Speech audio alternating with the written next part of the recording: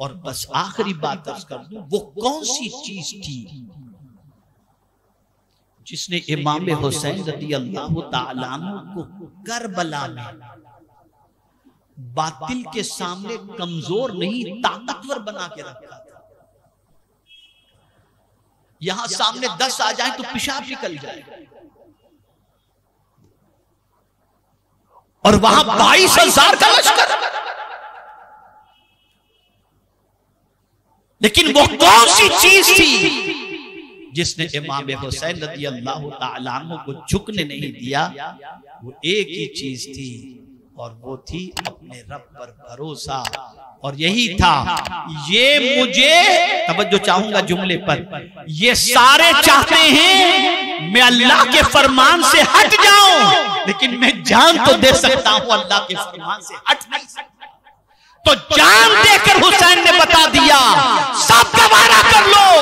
रब को नाराज़ करना गवारा न करो।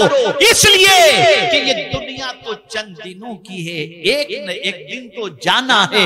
इससे अच्छी मौत क्या हो कि हम यहाँ से जाएँ तो इस हाल में जाएँ कि अल्लाह हमसे राज़ी है।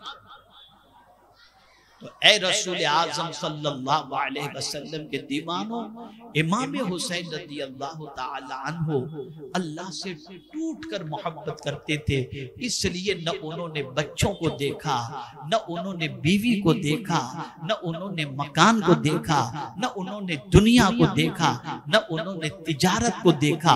देखा तो बस एक ही चीज़ को, मेरा रब किसमें राज़ी है, उसी को सामने रखा और सबसे ज़्यादा अल्लाह से वो मोहब्बत करते थे, इसका सबूत उन्होंने जान दे करके पेश फरमा दिया।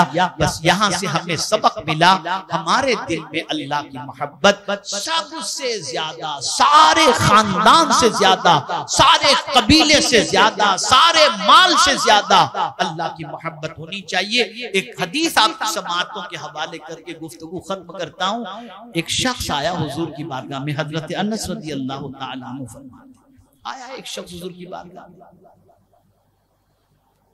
और हाजिर होकर अर्ज़ करता है मत सरकार कयामत कब कायम होगी? तो सरकार सल्लल्लाहु अलैहि वसल्लम ने फरमाया कि तूने उसके लिए क्या तैयारी की है? हुजूर मेरे पास तो कुछ ऐसा है नहीं। बस अल्लाह और उसके रसूल से मोहब्बत करता हूँ। अल्लाह और उसके रसूल। से सरकार ने फरमाया अंता तू जिससे मोहब्बत करता है कयामत के दिन उसी के साथ हुजूर से टूट कर मोहब्बत करो अल्लाह से टूट करके मोहब्बत करो अल्लाह से बेइंतहा मोहब्बत करो। और उस मोहब्बत का एक अंदाज अल्लाह के रसूल सल्लल्लाहु अलैहि वसल्लम ने बता दिया इन नस्फलाती व नोसो की व महिया व ममाती लिल्लाहि रब्बिल आलमीन। कि बेशक मेरी नमाज़, मेरी कुर्बानी, मेरा जीना, मेरा मरना, ये सब कुछ अल्लाह रब्बुल आलमीन के लिए है। नमाज़ भी पढ़ो तो अल्लाह के लिए और इसी के साथ साथ कुर्बानी भी दो तो अल्लाह के लिए, जिए भी तो अल्लाह के लिए और तमन्ना भी ये करें कि अल्लाह मौत भी दे तो उसकी याद में मौत अता फरमाए। इसके लिए ज़रूरत इस अम्र की है। एक हदीस मेरी नज़र से आज सुबह फज्र के बाद गुजरी। तबीयत बाग बाग हो गई। अल्लाह अकबर, सोचता हूँ कि ये हदीस आपकी समातों के हवाले कर दूँ। शायद कि आज से आप उस पर अमल करें, मैं भी उस पर अमल करूँ और हमारे लिए कुछ कामयाबी का रास्ता मिल जाए। अल्लाह अकबर आप जानते हैं जो शख्स रात को बिस्तर पर जाने से पहले वज़ू कर लेता है। और वज़ू करके सोता है। दाई करवट दाई करवट वज़ू करके सोता है।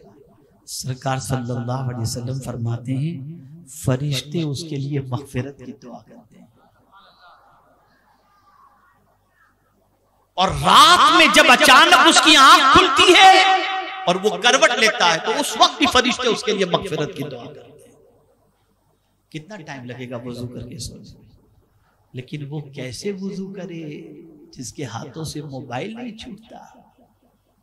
यूट्यूब नहीं छूटता। पिक्चर नहीं छूटती। वो कहाँ से वज़ू करेगा? उसे तो कुछ और देखना है। वज़ू तो वो करे। जिसको ये हो कि मैं लेटे लेटे अल्लाह अल्लाह के प्यारे हबीब पर दुरूद शरीफ पढ़ते पढ़ते सो। तो आज से ये मामूल बनाओ। कई गुनाहों की जड़ वज़ू करके सोने पर ही कट जाएगी कि जहाँ आपने ये आदत बना ली कि वज़ू करके ही मैं सोऊँगा। अजीम फिर पिक्चर देखने का जज्बा गुनाह करने का जज्बा ये सब खत्म हो जाएगा और फिर लेटे लेटे हुजूर पर दुरूद पढ़ रहे होंगे। कले में तैयबा का वेद कर रहे होंगे। ये सारी चीज़ें जबान पर होंगी नतीजतन कभी दुरूद पढ़ते पढ़ते रात को सो जाएँगे तो मुस्तफ़ा प्यारे हो सकता है। करम की नज़र फरमाकर अपने दीदार से माला माल भी फरमा दें। अल्लाह ताला हम सब पर करम की नज़र फरमाए।